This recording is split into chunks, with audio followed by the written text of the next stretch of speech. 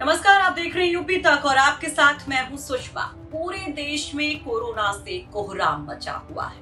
पूरब से पश्चिम तक हाल बेहाल है तो यूपी में हालात ठीक नहीं या यूँ कहें कि बदतर है। ऐसे में सबकी निगाहें देश के पीएम और प्रदेश के सीएम पर हैं तो सोशल मीडिया पर भी इन्हीं की चर्चा है।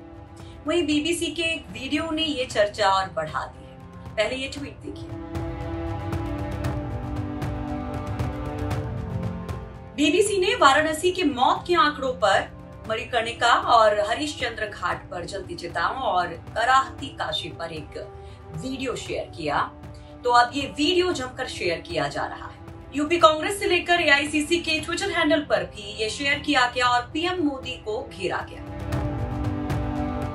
वहीं कांग्रेस के तमाम नेताओं की ओर से भी इस वीडियो पर ट्वीट शेयर, कमेंट्स की बाढ़ सी आ गई। वाराणसी के हालात को लेकर एक और रिपोर्ट कांग्रेस नेताओं की ओर से जमकर शेयर की जा रही है, जिसमें भी वही दावे किए गए हैं कि कैसे मौत के आंकड़े वाराणसी में बढ़ रहे हैं, चिताओं पर चिताएँ लगातार जल रही हैं।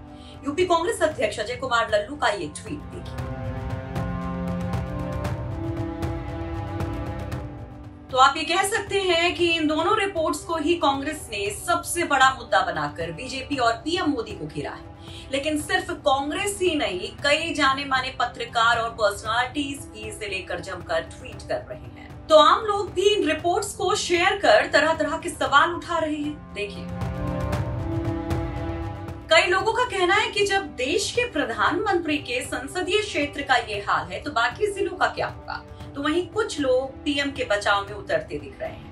कमेंट और ट्वीट कर कह रहे हैं कि ये हाल तो पूरे देश का है तो वाराणसी कहाँ से अलग हो गया? खैर, ये तो रहा सोशल मीडिया पर सबसे चर्चित शहर का हाल, लेकिन गोरखपुर समेत कई जगह ऐसी ही तस्वीरें देखने को मिल रही हैं, जहाँ खाकसू पर मौत के आंकड़े कुछ होते हैं और ज़मीन पर हकीकत कुछ।